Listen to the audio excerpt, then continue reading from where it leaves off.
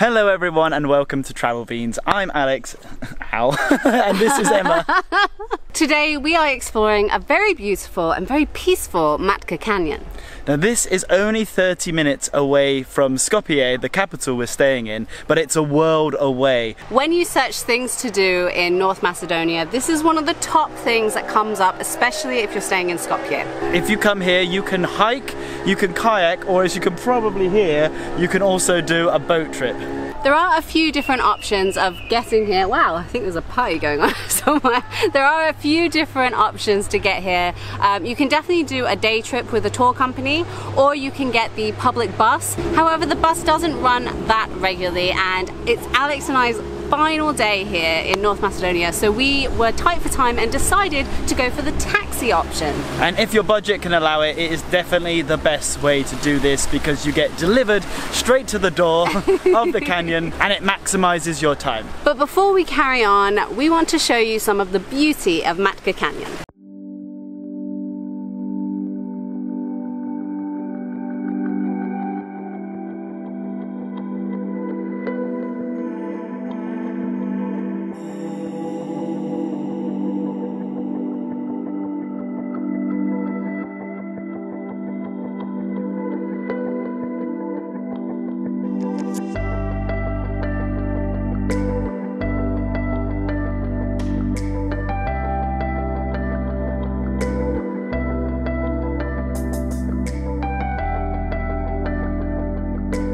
I'm sure you can tell by the sounds of the boats that there is a lot less peaceful side to this area.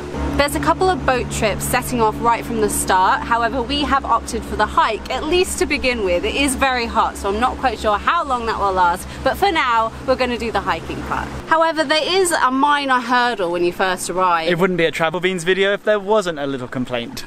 But this is nothing to do with the canyon itself. The problem is the people. So, of course, this is an incredibly beautiful place and it's really not far from the city. So, you're going to get a lot of tourists here and that's completely to be expected. And it is the height of summer as It well. is the so- height of summer and let's face it, I think this is why the city centre was so quiet yesterday because look at this water, it's beautiful.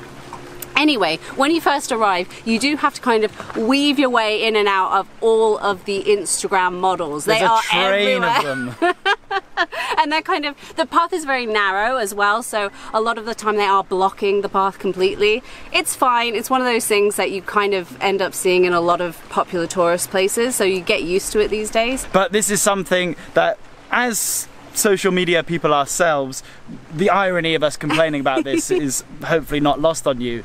But it's so frustrating to see people just lose the common decency of being aware of other people. I got hit in the face I was hit in the face, we're constantly waiting to get past. And I think what's even funnier is that after about 15 minutes of walking, no one. Yeah. It's so hilarious how they all group and bunch together to get their shots they need. anyway we've got videos to make and photos to take so, So come along. it's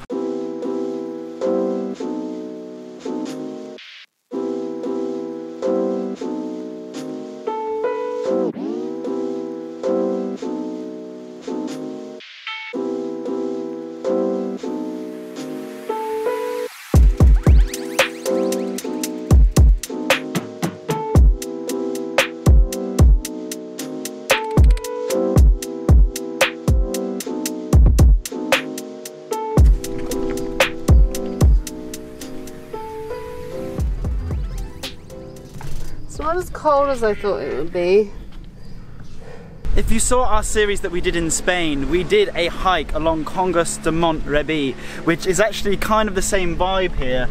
I was using the rocks to cool down my face, which here is not the case.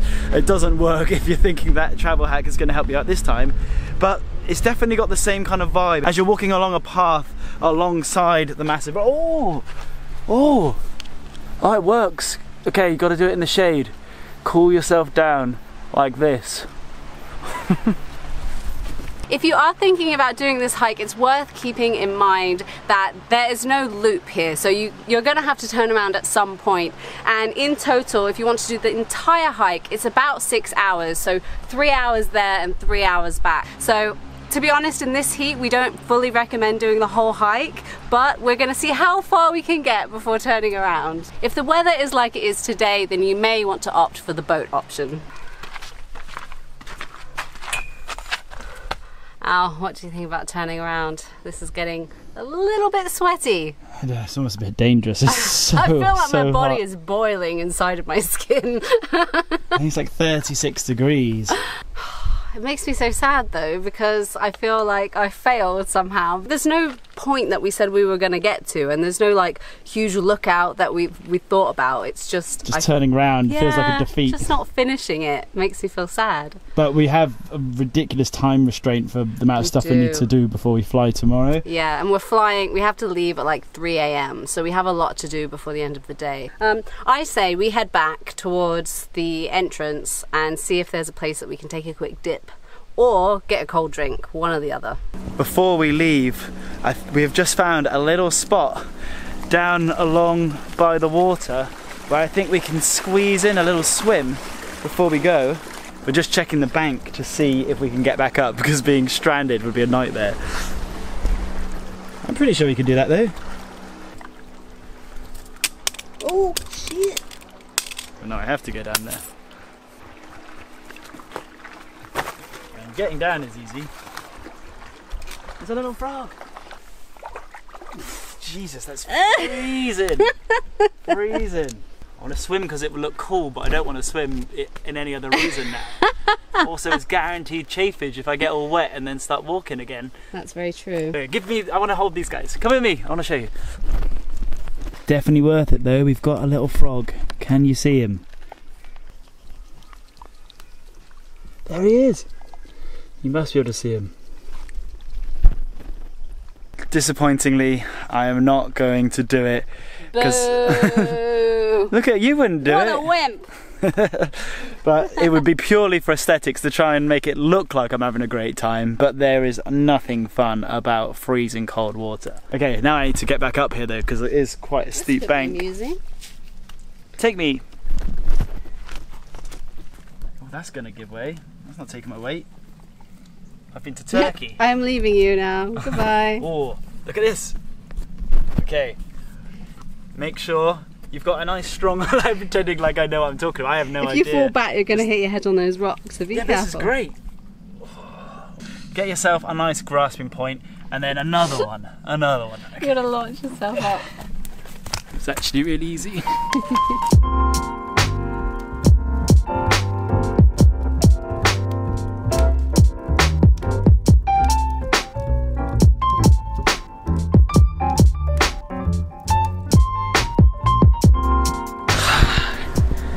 We are back and we're clean. I'm not covered in dust and dirt anymore. It feels so good. When we left the canyon, we were greeted with a horde of taxi drivers. So it's very easy to find a taxi when you leave, but it's not so easy to negotiate a price. So, a little tactic anywhere you go in the world is to insist on the taxi using a meter. If they don't, just walk away because, in our experience, they will chase you down and then offer it on the meter or at a reasonable price. Yeah, so for us, we ended up walking down the road and the guy actually drove after us and offered us our original price. So we got in the taxi and came back. That's also a little tip as well for if you're haggling anywhere mm. is to go in with a price in mind and just walk away. Whatever price they offer you, they will always reduce the price and shout after you until it gets to probably way below you originally thought anyway. Yeah, never trust the first amount offered. Also, the thing with the taxi drivers, it happens in every country. It's not specific to Skopje. It really does seem to happen in every country. I'm sure it happens in the UK. But anyway, that is the end of our short but sweet Macedonia series. It was weird, wonderful, and beautiful. And unfortunately, it's not going to be long enough. I wish we had longer here. However, we've got to catch a very early flight tomorrow. If you enjoyed the video, please give us a big thumbs up and make sure you subscribe and hit that notification bell. Leave in the comments any haggling or bargaining tips that you might have. They would be very useful for us and for other travellers. And nothing left to say, but thank you very much for joining us today. I hope you've tucked your kids in because this will be what keeping them up all night otherwise with bad dreams. Thank you very much for watching. See you next time and beads out!